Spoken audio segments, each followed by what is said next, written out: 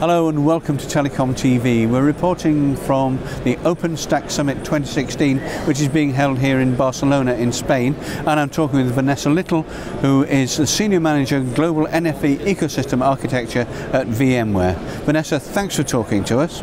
Let's talk about the ecosystem of NFV vendors and the proliferation of them, shall we? Um, obviously there's a big ecosystem already of, of, vendors. There's orchestration vendors, there's service assurance vendors, there's analytic vendors, and so on and so forth in the, F, in the NFV system. And they seem to be procreating. There's more and more of them all the time. What's your take on the fact that this ecosystem is becoming just so enormous now?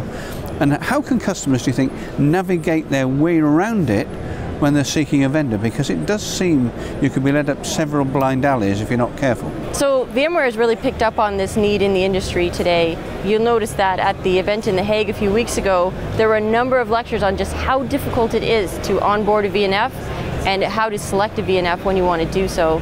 So VMware has addressed this in a number of fashions. We've built a few programs to support and enable our partners. We've built a few programs to promote our partners in the field, and we've also started enabling our field teams to be able to sell with these partners in sort of a co-go-to-market strategy to accelerate their solutions in the market and get them the exposure in front of customers that they might not have had in the past.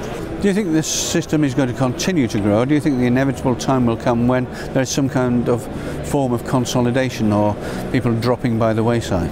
I think the, the ecosystem is going to continue to grow, perhaps not at the exponential explosive rate that it has so far, but with new players popping up in the market that are more focused on cloud native applications, cloud native VNFs, as opposed to the traditionally dominated field of the hardware appliance vendors that are now branching into that space. I think because we have that, that new door opened into cloud native applications, it's going to continue to have new players breeding into the ecosystem, which is great for the ecosystem, great for the customer because it breeds some healthy competition, but it also gives you a near infinite number of choices. Thanks, Vanessa. Can you just expand on the programs you were just talking about a little more, make it a little more clear? Sure. So there are a number of initiatives that VMware's embarked on the first is the Technical Alliance Partner Program. And so this is a VMware-wide program. It's not specific to our NFV partners, but it's a huge benefit to them. And it offers them things like um, test licenses for their labs, discounts on certification programs for their staff, technical enablement sessions, and access to our partner university. Uh, the second initiative that we've embarked on on the NFV team is called the Ready for NFV Certification Program. And so we invite our partners to bring their software into our VMware controlled lab facility. We run through a very specific suite of tests and then we stamp it as certified, ready for VMware. So we can tell the industry that we know that this partner is compatible with the VMware platform.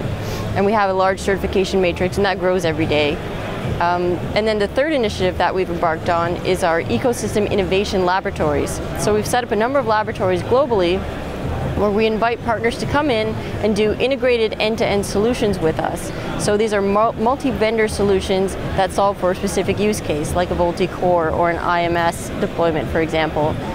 Once we've proven these out as sort of a POC or a reference architecture, we publish it. We publish some technical documentation, we publish some demo videos, we do some, some cross-marketing, some events, um, some lectures at events like, like this, where we'll bring those partners up on stage with us and talk about the joint solution, how it works, and do a technical deep dive, and also display why it's valuable to customers.